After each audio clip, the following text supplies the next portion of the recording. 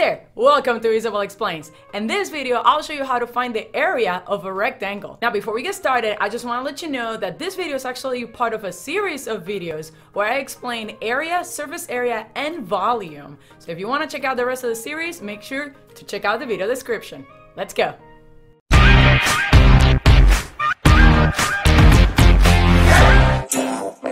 So let's suppose that we have a rectangle that is 10 centimeters by 6 centimeters. We know that the formula for the area of a rectangle is just base multiplied by the height.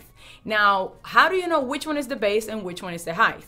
Well, it truly doesn't really matter, especially with a rectangle, because you could have this rectangle standing in this position, or you could have it flip it over and be standing on the other position where this would be the base.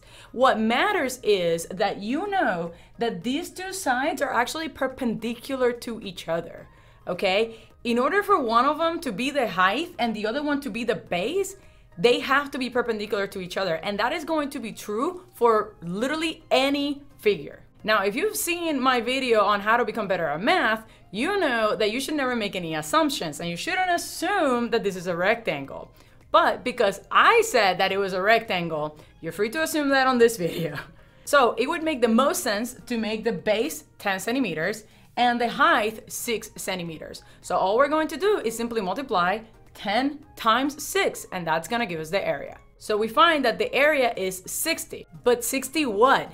60 squared centimeters. And that is because you also multiply the units, don't forget that. And this is gonna help you a lot way down the road when you're doing like chemistry and other classes where you have to take care of the units. That is super important. Centimeters times centimeters is squared centimeters.